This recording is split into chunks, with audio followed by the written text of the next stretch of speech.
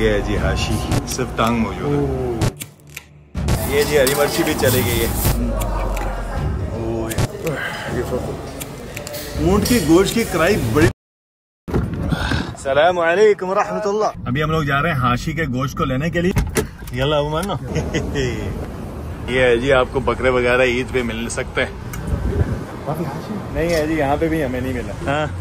ये वाली दुकान है जी। इंशाल्लाह। ये है जी हाशी सिर्फ़ टांग मौजूद है। वो जा रहा है जी हमारा हाशी वेलकम टू अल जदीद इस गोश्त को सबसे पहले हम लोग धोएँगे। ये जा रहा है जी गर्म पानी। लाल मिर्ची।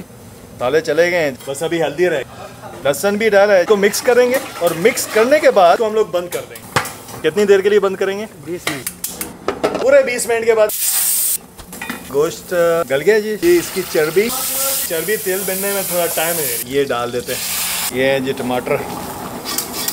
ये जी हरी मिर्च